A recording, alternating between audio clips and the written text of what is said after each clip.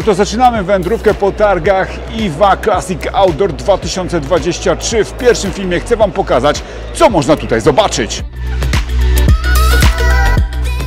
Oczywiście karabinki pneumatyczne, broń palną, sprzęt do airsoftu,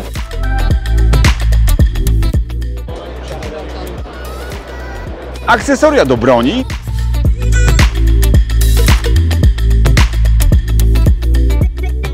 optykę, zarówno lornetki, lunety. Tak naprawdę to tylko część rzeczy, które można zobaczyć podczas targów IWA 2023, dlatego zapraszam Was na kolejne odcinki mojej relacji z tej imprezy.